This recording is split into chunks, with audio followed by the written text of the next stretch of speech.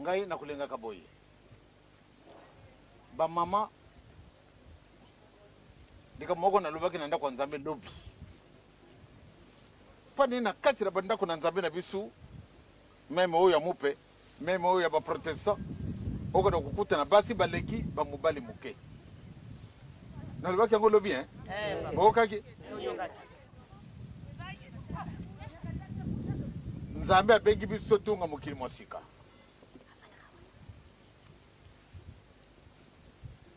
bakolobaka bana basi bakotungaka mboka te kasi na linguma tata siboki mbangu ifo bana basi batunga mboka donc natala kuna namoni oyo tokolobaka mongongo ya kikongo awa Na moni ba oyo bako lobaka mongongo ya ngangulu eh eh wana te na mboka na biso ya sika oyo ya papa Simon kimbangu mboka ya bolingo na moni sengo mpo ata na moni ba mosusu ba zali awa eh wana esepelisi nga mua moke kasi ekokaki biso ba to sangani eh mokongo mozali te mongangulu mozali te omoni likambo nzambe ako pesa bino pamba te Bino bato botikali na kiti monene wana, bana moke, bana basi obe bana mobali, otala bato oyo balongwa na konzulu mpo ate baya kosala awa. Bomoni bango mingi eh? Me balongwa na Brazzaville baya, bakozalaka mingi meme na Kisasa, meme na Kisasa okomona bana basi baleki. Ngai nalobaki eh, nalingi komona te Nde oyo mukongo, oyo mungala, oyo muluba, oyo musakata, oyo eeh! Ndenge wana te, pamba te ba mundele baya kovanda na bango, bakoya kovanda na bango awa eeh! Batu wana bokotia bango wapi? Bango bazali bakongo te, bazali ba ngangulu te, bokotia bango wapi? Bokobwaka bango? Au contraire, bino bato bobongisela bango, bakoya kosenga. kobikisa milimo na bango donc esika wana vraiment ekopesa nga esengo soko na moni bino bato bosangani tokokani hein ba mama muwalwe nako bon ale bokamata bini nyonso tu bosilisi du ntango nakokuma awa nakotutanaka soko nakokuta na bamama soko yo soko yo soko oyo okotuta kaka kingangulu tokamatini soko oyo ye mama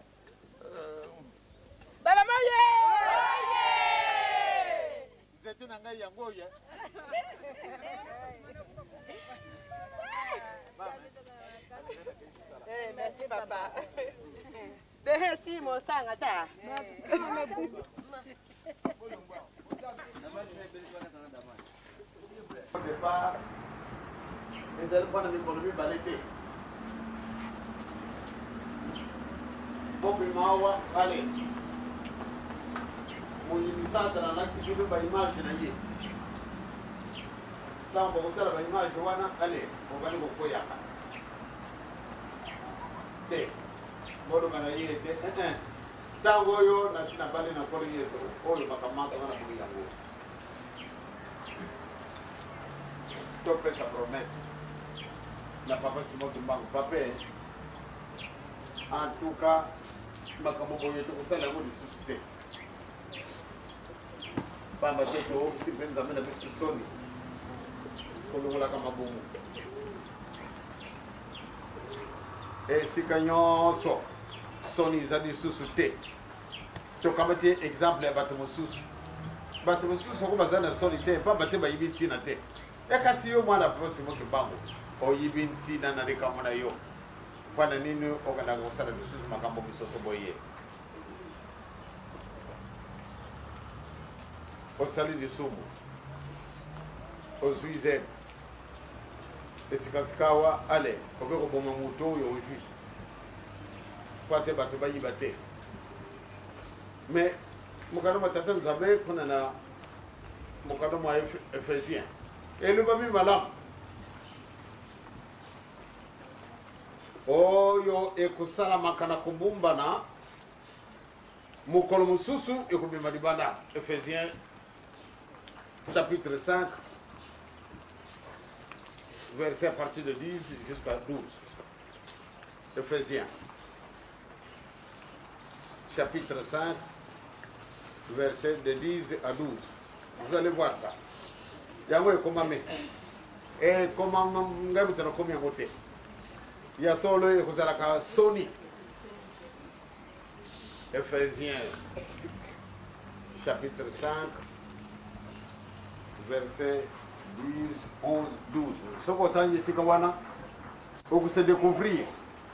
Nde ya solo makambo tokosalaka na kobombana, yango nyonso tu izali pwelele na miso ma Tata Nzambe. Donc, kokanisa te nde obombani, eh, eh, obombani na yo te. Yo moko ozali image. Kanisa na likambo wana. Yo moko ozali image, c'est-à-dire ozali Nzambe. Esika nini okoki kobombana? Ezali te. Lelo oyo, bamundele babongisi likambo. Mbala na mbala, soko tozali na ndako ya Nzambe na butu, talaka ngai kaka, observe ngai. Miso na ngai baza kotambola na likolo, navandi esika meme boza kosalaka ntinitani, observe ngai kaka. Okomonaka miso na ngai kotalaka na likolo ee, kotalaka ba etoiles wana, kotalaka ba. Ntina ezali, c'est-à-dire yo mondimi nyonso tout, ndenge ngai nalobaki mokolo oye, ndenge nini namonelaka Papa Nsomi, mais tozalaka na eloko. Tokozalaka na eloko wana soko ngai nasali yo boye? Kobusana te, ozala na yo esika nini, ya solo, mpasi ezali na yo, tentation ezali na yo, bela kaka, ah, Nzambe, mpo nini Nzambe otika ngai na mpasi boye? Tata Nzambe, Nkolo Yesu Mosantu, boni bobwaki ngai? Mpo nini botikela ngai na makambo boye na moyini satana eh papa mfua longwe eh kobusana te tango olobi kaka boye eloko na yo wana ekeyi eke kokutana ebe eh fo tolanda yo tango wana Et tokoyibaka yango te. Et esika yonso tu ozali oza na kati ya studio. Nzambe akamati ba nzembo sopi na biso esengo eza na ngai ya ba maman. Mais ya kusakana te. Pamba te makambo na biso yonso tu ezali kaka na ba nzembo. Oyemi nzembo otali pe na kati na Bible makambo yango mazali. Ah, mais likambo nini oyo? Wana elakisi ete bolingo na Tata Nzambe ezali na ndelo te. Yo na ngai toponami mpo ete totonga lingomba oyo ya suka mpe tozala pire. Tozala pire. Ezali te a ah, pamba te bato mosusu bazali kosalaka boye tika mpe ngai nasala te. Yo ondimi kolanda Tata Simon Kimbangu ata mpasi ata esengo okomelabele ye yango wana totika makambo wana nano ezali na ngai mawa pamba te toyokisi papa soni kasi ndenge asukoli bino e esolo na manso masalaki na ngai mposa ezalaki ezali lisusu na ntina te pamba te nzambe asukoli bino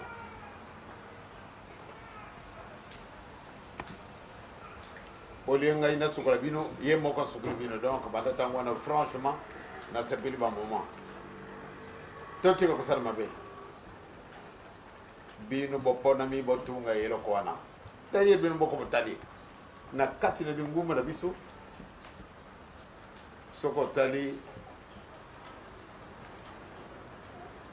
manguma manso solo ba jeune bazali kasi na lingomba na biso ba jeune baleki malgré ezali compliqué kasi bondimi pamba te na bogene na bino wapi moyen ya kosupporte bainjure oyo oh, yo mwasi kitoko boye ale ale ale yo okolaka kolandaka makambo pampamba wana epe yo mpe na booki boye Ah soki ozalaka molende te ah ya solo nazali kitoko eh bongisa nde kitoko na yo ya molimo oyo ya mosuni ezali na yango likambo te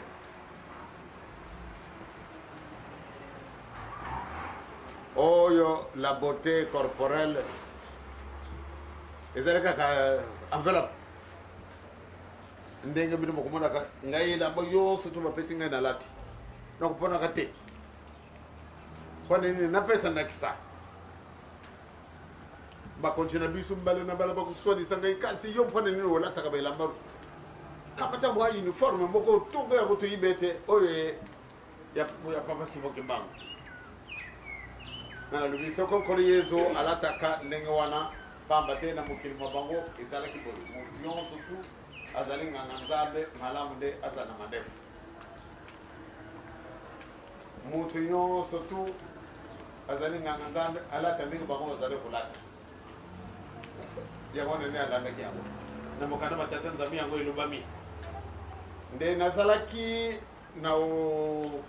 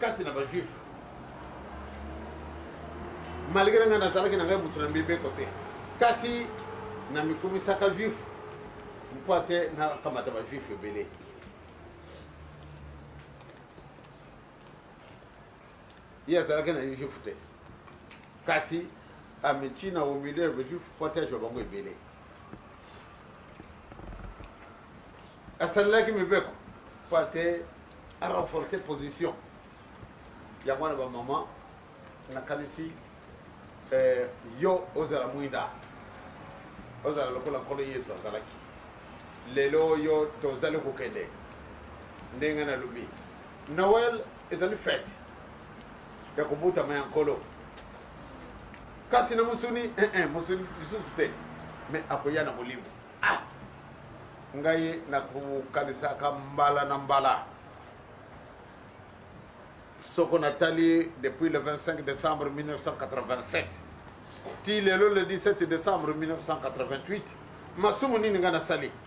Soko na sali controle na koyiba masumu wana nga na sali pona nini? Mposa na ngai ezalaka kaka toujours na zala pret pamba te na yebi na nga mokolo oyo na kokufa te. Mokolo wana peut-etre na kozala surpris tango oyo na zali kolia eh. nakitisi mutu nakeyi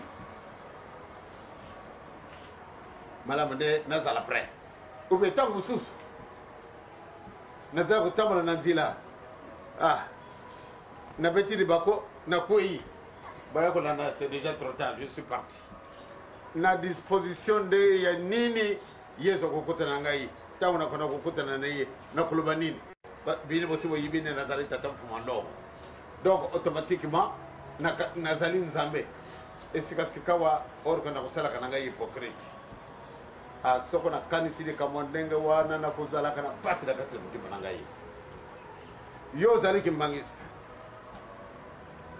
Eh, nazali kooka yango na kati eh, meme lobi naokaki yango mingi na bamoment na ba tata pia na kati na famille na ngai, ngai kaka nazali kimbangiste. Est ce que bango Nzambe moto asalaki bango te? Bakolingaka ngai te. Sepela, sepela soko na milieu na yo baboyi yo mpo na nkumu ya tata Simon Kimbangu, vraiment sepela, ozali na eloko. Kasi bakokenda wapi? Bakolanda yo kaka.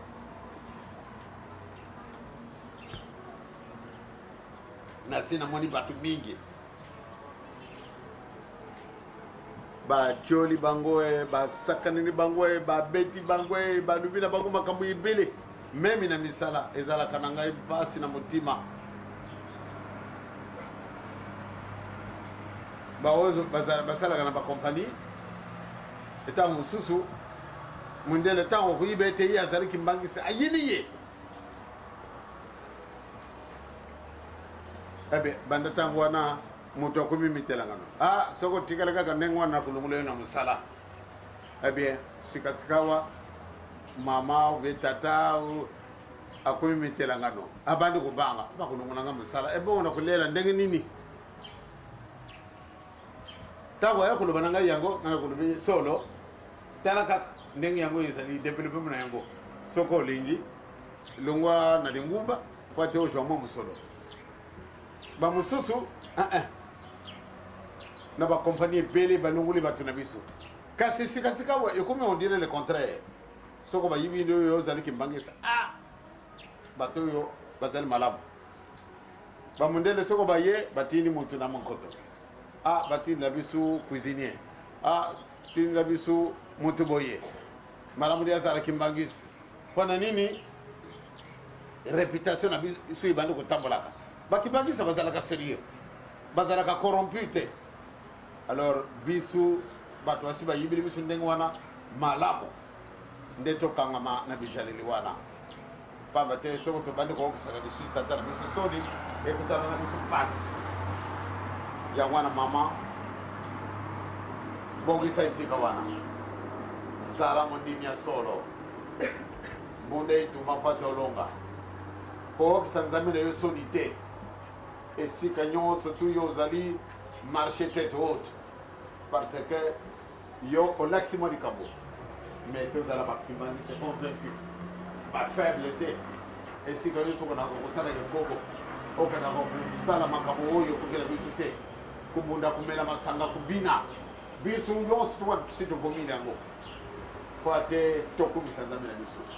Ee, ya solo, ndenge nalobi, na kati na ndako ya Nzambe, bingumba na biso eyingili na kati na mokili mobimba. Donc, mes filles, bino bozali lisusu na temps ya koyekola, boyekola mpenza likambo ya tata Simon Kimbangu makasi. Boyebi koloba français, boluka nzela mpe soko moyen ezali nde obandi koyekolaka mpo mwa anglais.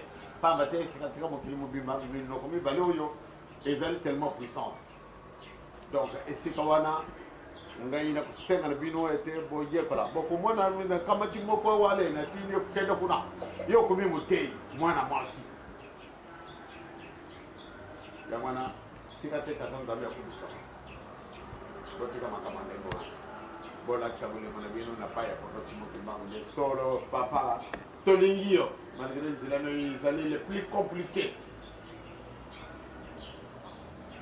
ba nganga nzambe oyo bayaki liboso eeh nakanisi botangaka yango ezalaki kaka na kati na mokanda oyo ba nganga nzambe oyo bayaki liboso ah ya solo bayaki na certaine euh, verite kasi à la longue Allez batiki solo na bango allez bakiti penza kokita lelo partout dans le monde baza kolinga certaines facilités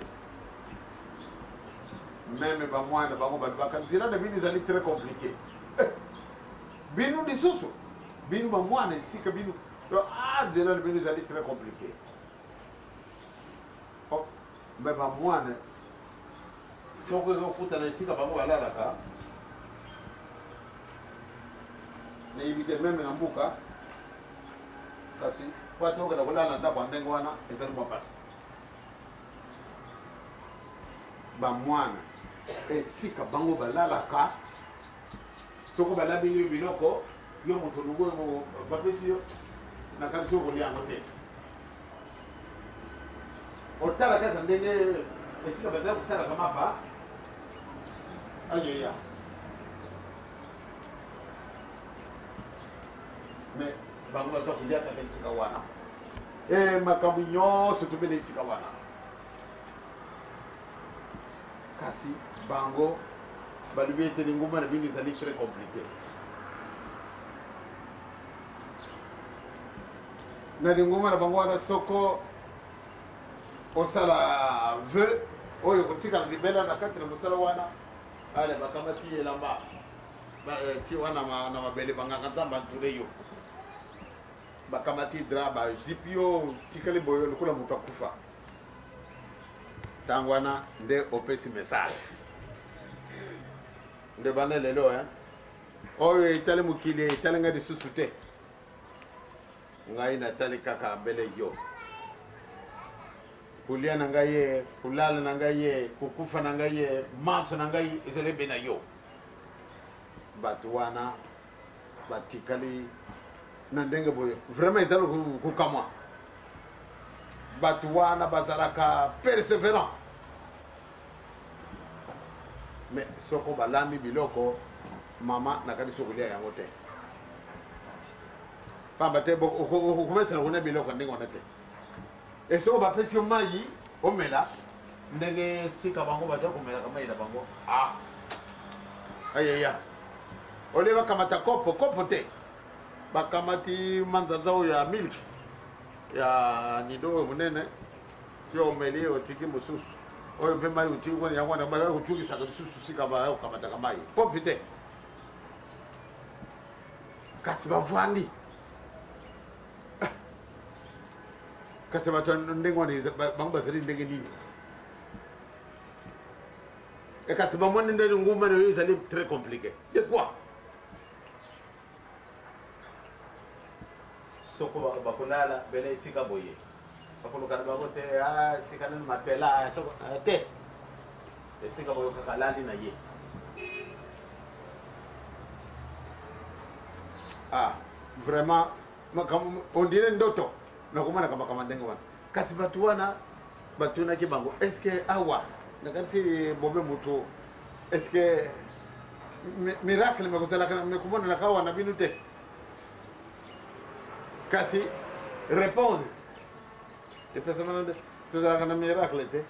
Miracle moko kaka bamonaki mokolo mosusu, eloko kolia ezalaki na bango te.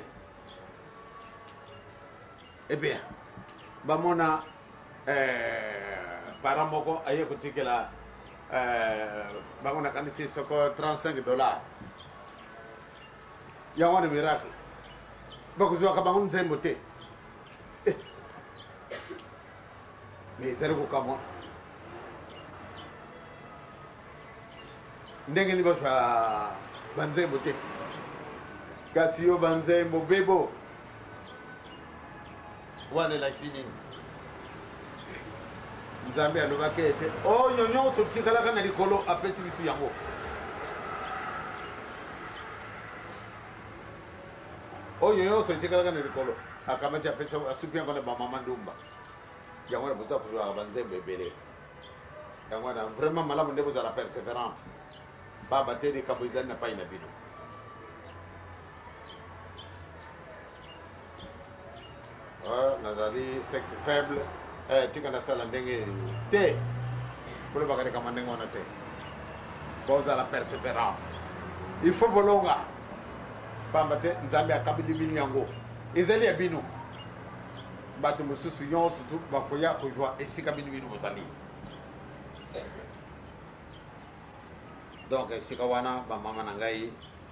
Na pesi bino merci ndenge bookaki.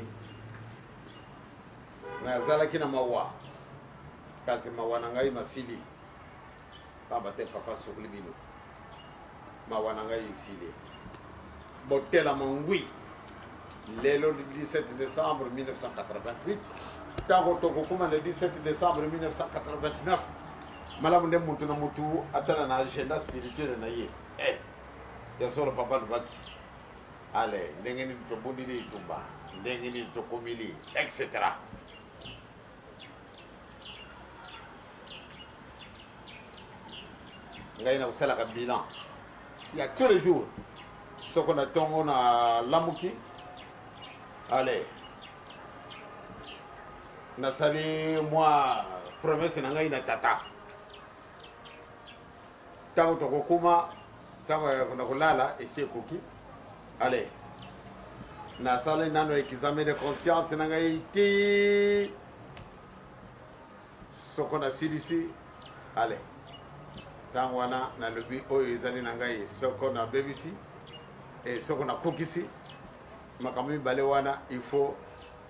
Na discerner le bien et le mal Masumu boni nga nasali mokolo mobimba Et soko nasali balance Nde masumu eleki ayi Wana nde nakomi na mawa Mais soko makambo malamu eleki Nakosepelaka mingi Pamba te solo nasepeli Pamba te nasali Alors lobi nakosala encore plus